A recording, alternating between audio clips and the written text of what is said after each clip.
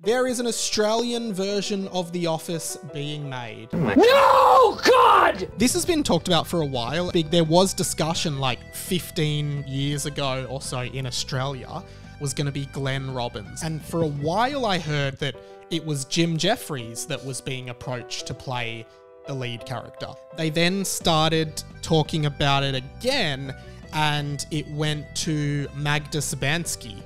From what I understand now, it's going to be led by Felicity Ward. Let's be real.